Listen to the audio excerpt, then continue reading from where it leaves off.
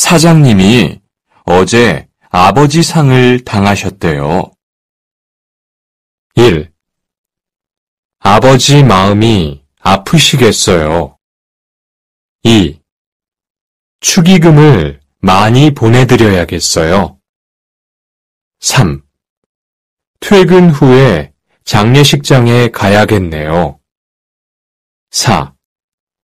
많이 다치지 않으셨으면 좋겠어요. 사장님이 어제 아버지 상을 당하셨대요. 1. 아버지 마음이 아프시겠어요. 2. 축의금을 많이 보내드려야겠어요. 3. 퇴근 후에 장례식장에 가야겠네요. 4. 많이 다치지 않으셨으면 좋겠어요.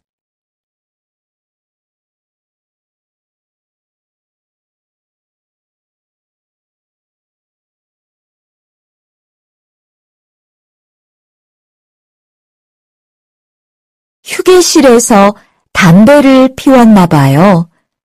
벽에 금연이라고 메모까지 붙여놓았는데요. 1.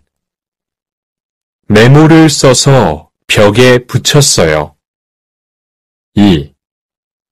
저는 담배를 이미 끊었어요. 3.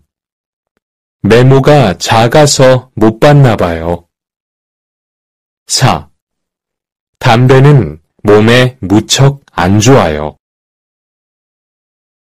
휴게실에서 담배를 피웠나 봐요. 벽에 금연이라고 메모까지 붙여놓았는데요. 1. 메모를 써서 벽에 붙였어요. 2. 저는 담배를 이미 끊었어요. 3. 메모가 작아서 못 봤나 봐요. 4.